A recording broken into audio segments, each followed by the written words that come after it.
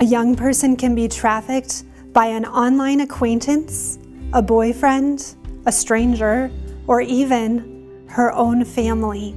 Whether that's for one night, one week, or months or years, night after night, the trauma to her body, mind, and heart are real and they are deep.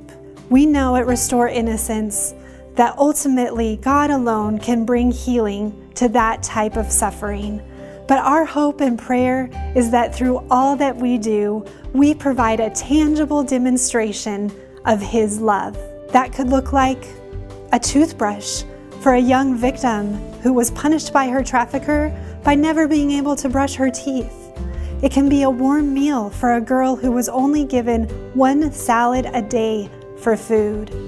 It can be a blanket wrapped around her shoulders as she sits on the edge of a hotel bed with an FBI agent, wondering what is coming next.